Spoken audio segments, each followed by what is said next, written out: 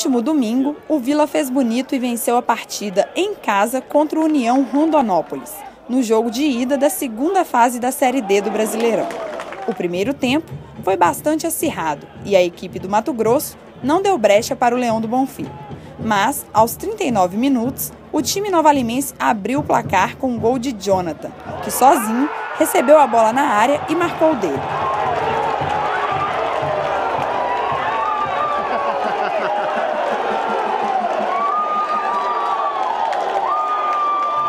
Logo no início do segundo tempo, aos 5 minutos, o Vila ampliou com um gol de pênalti, marcado pelo atacante Douglas.